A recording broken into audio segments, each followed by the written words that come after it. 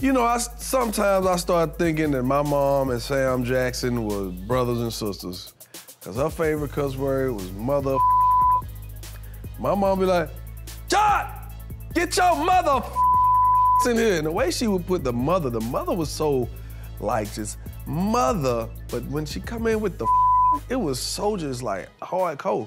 She be like, your mother over here right goddamn now. Gonna tell your mother has no motherfucking more. You done lost your mother mind, around here acting like you ain't got no motherfucking sense, going up in that goddamn, that mother school acting like you motherfucking stupid. And I'm like, and you wonder why I just got in trouble for saying mother at school. She got mad at me one time. It was my cousin Vontae turn to wash the dishes.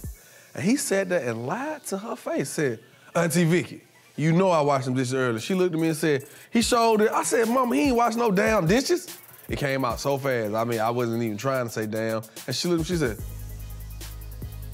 Oh, you done lost your mother mind. That was it. Yeah, I don't remember nothing from that.